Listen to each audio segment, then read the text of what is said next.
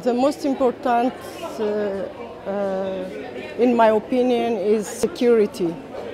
There is a lot of fraud, there is a lot of uh, abuse, uh, children abuse, uh, little children, uh, girls abuse, pornography, just name it. The list goes on and on.